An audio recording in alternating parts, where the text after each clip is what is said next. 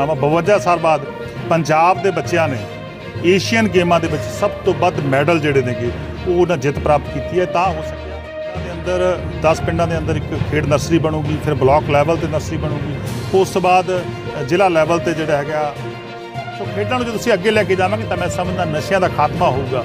ਜਦੋਂ ਖੇ, ਪਿੰਡਾਂ 'ਚ ਗਰਾਊਂਡ ਬਣਨਗੇ, ਜਦੋਂ ਪਿੰਡਾਂ 'ਚ ਸਰਦਾਰ ਮੈਂਗਲ ਸਿੰਘ ਟਰੱਸਟ ਵੱਲੋਂ ਅਮਰਗੜ੍ਹ ਵਿਖੇ ਕਰਵਾਏ ਗਏ ਵਾਲੀਬਾਲ ਟੂਰਨਾਮੈਂਟ 'ਚ ਵਿੱਤ ਮੰਤਰੀ ਹਰਪਾਲ ਸਿੰਘ ਚੀਮਾ ਵੱਲੋਂ ਉਚੇਚੇ ਤੌਰ ਤੇ ਸ਼ਿਰਕਤ ਕਰਦਿਆਂ ਜਿੱਥੇ ਪ੍ਰਬੰਧਕਾਂ ਦੀ ਹੌਸਲਾ ਅਫਜ਼ਾਈ ਕੀਤੀ ਗਈ, ਉੱਥੇ ਹੀ ਜੇਤੂ ਖਿਡਾਰੀਆਂ ਨੂੰ ਇਨਾਮਾਂ ਨਾਲ ਵੀ ਸਨਮਾਨਿਆ ਗਿਆ। ਪੱਤਰਕਾਰਾਂ ਨਾਲ ਗੱਲਬਾਤ ਕਰਦਿਆਂ ਵਿੱਤ ਮੰਤਰੀ ਹਰਪਾਲ ਸਿੰਘ ਚੀਮਾ ਨੇ ਮੈਂਗਲ ਸਿੰਘ ਟਰੱਸਟ ਦੀ ਸ਼ਲਾਘਾ ਕਰਦਿਆਂ ਕਿਹਾ ਕਿ ਅਮਰਗੜ੍ਹ ਦੀ ਧਰਤੀ ਤੇ ਇਸ ਖੇਡ ਮੈਦਾਨ ਵਿੱਚ ਖੇਡੇ ਖਿਡਾਰੀ ਵੱਡੀ ਗਿਣਤੀ ਵਿੱਚ ਸਰਕਾਰੀ ਨੌਕਰੀਆਂ ਹਾਸਲ ਕਰ ਚੁੱਕੇ ਹਨ ਤੇ ਕਈ ਖਿਡਾਰੀ ਰਾਸ਼ਟਰੀ ਤੇ ਅੰਤਰਰਾਸ਼ਟਰੀ ਪੱਧਰ ਤੇ ਵਾਲੀਬਾਲ ਖੇਡ 'ਚ ਅਮਰਗੜ੍ਹ ਤੇ ਜ਼ਿਲ੍ਹਾ ਮਲੇਰਕੋਟਲਾ ਦਾ ਨਾਮ ਚਮਕਾ ਵੀ ਚੁੱਕੇ ਹਨ। ਵਿੱਤ ਮੰਤਰੀ ਨੇ ਆਖਿਆ ਕਿ ਸੂਬਾ ਸਰਕਾਰ ਖੇਡਾਂ ਨੂੰ ਪੰਜਾਬ ਦੇ ਵਿੱਚ ਉਤਸ਼ਾਹਿਤ ਕਰਨ ਵਾਸਤੇ 10 ਪਿੰਡਾਂ ਦੇ ਅੰਦਰ ਖੇਡ ਨਰਸਰੀਆਂ ਬਣਾਉਣ ਜਾ ਰਹੀ ਹੈ ਤੇ ਜ਼ਿਲ੍ਹਾ ਪੱਧਰ ਤੇ ਸਪੋਰਟਸ ਕੰਪਲੈਕਸ ਉਸਾਰੇ ਜਾਣਗੇ। ਤਾਂ ਜੋ ਖਿਡਾਰੀ ਭਵਿੱਖ ਵਿੱਚ ਰਾਸ਼ਟਰੀ ਤੇ ਅੰਤਰਰਾਸ਼ਟਰੀ ਪੱਧਰ ਦੇ ਸੂਬੇ ਦਾ ਨਾਮ ਚਮਕਾ ਸਕਣ। ਸਰਦਾਰ ਮੈਂਗਲ ਸਿੰਘ ਟਰੱਸਟ ਵੱਲੋਂ 24ਵਾਂ ਵਾਲੀਬਾਲ ਕੱਪ ਕਰਾਇਆ ਜਾ ਰਿਹਾ। ਸਰਦਾਰ ਮੈਂਗਲ ਸਿੰਘ ਜੀ ਸਵਰਗਵਾਸੀ, ਜਿਨ੍ਹਾਂ ਦੀ ਬਹੁਤ ਵੱਡੀ ਦੇਣ ਵਾਲੀਬਾਲ ਨੂੰ ਸੀ, ਹਲਕਾ ਅਮਰਗੜ੍ਹ ਨੂੰ ਸੀਗੀ। ਸੋ ਸਭ ਤੋਂ ਪਹਿਲਾਂ ਅਸੀਂ ਉਹਨਾਂ ਨੂੰ ਯਾਦ ਕਰਦੇ ਹਾਂ। ਉਹਨਾਂ ਨੇ ਬਹੁਤ ਹੀ ਅੱਛਾ ਕੰਮ ਇਸ ਗਰਾਊਂਡ ਲਈ ਕੀਤਾ, ਸਮੁੱਚੇ ਪੰਜਾਬ ਲਈ ਕੀਤਾ। ਲਗਭਗ 100 ਤੋਂ ਉੱਪਰ ਨੈਸ਼ਨਲ, ਇੰਟਰਨੈਸ਼ਨਲ ਖਿਡਾਰੀਆਂ ਨੂੰ ਉਹਨਾਂ ਨੇ ਪੈਦਾ ਕਰਕੇ ਦੇਸ਼ ਦੇ ਵਿੱਚ ਖਿਡਾਇਆ ਔਰ ਵੱਖ-ਵੱਖ ਦੇਸ਼ਾਂ 'ਚ ਖੇਡੇ।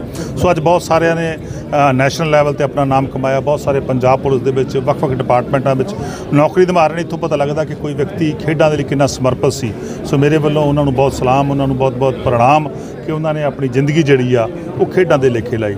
ਸਰਕਾਰ ਵੱਲੋਂ ਜੇ ਮੈਂ ਗੱਲ ਕਰਾਂ ਤਾਂ ਨਵੀਂ ਖੇਡ ਪਾਲਿਸੀ ਜਿਹੜੀ ਆ, ਉਹਦਾ ਉਦੋਂ ਅਸੀਂ ਪ੍ਰਵਾਨਗੀ ਦੇ ਚੁੱਕੇ ਹਾਂ।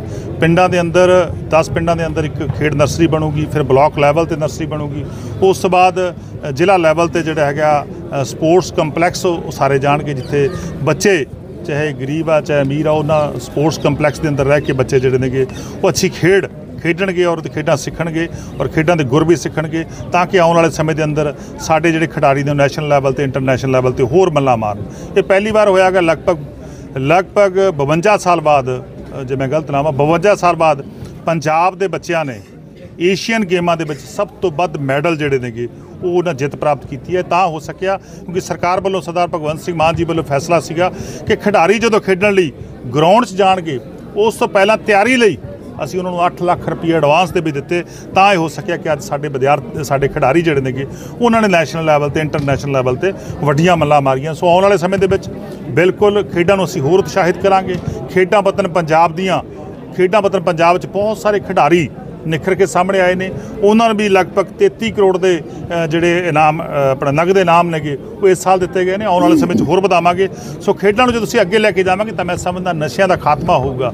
ਜਦੋਂ ਖੇ ਪਿੰਡਾਂ 'ਚ ਗਰਾਊਂਡ ਬਣਨਗੇ ਜਦੋਂ ਪਿੰਡਾਂ 'ਚ ਗਰਾਊਂਡ ਬਣਨਗੇ ਜਦੋਂ ਬੱਚੇ ਸਾਡੇ ਨੌਜਵਾਨ ਪੀੜ੍ਹੀ ਗਰਾਊਂਡ 'ਚ ਜਾਊਗੀ ਤਾਂ ਉਹ ਬਹੁਤ ਨਸ਼ਿਆਂ ਤੋਂ ਦੂਰ ਰਹੂਗੀ। ਸੋ ਨਸ਼ਿਆਂ ਨੂੰ ਖਤਮ ਕਰਨ ਲਈ ਇਹ ਵੀ ਇੱਕ ਮੈਂ ਸਮਝਦਾ ਬਹੁਤ ਵੱਡਾ ਯੋਗਦਾਨ ਜਿਹੜਾ ਸਪੋਰਟਸ ਡਿਪਾਰਟਮੈਂਟ ਪਾਊਗਾ ਔਰ ਮੈਂਗਲ ਸਿੰਘ ਦੇ ਨਾਮ ਤੇ ਜਿਹੜਾ ਇਹ 24ਵਾਂ ਵਾਲੀਬਾਲ ਟੂਰਨਾਮੈਂਟ ਹੋ ਰਿਹਾ ਹੈ ਇਹਦੇ ਵਿੱਚ ਅੱਜ ਪੰਜਾਬ ਦੇ ਵਿੱਤ ਮੰਤਰੀ ਹਰਪਾਲ ਸਿੰਘ ਚੀਮਾ ਆਏ।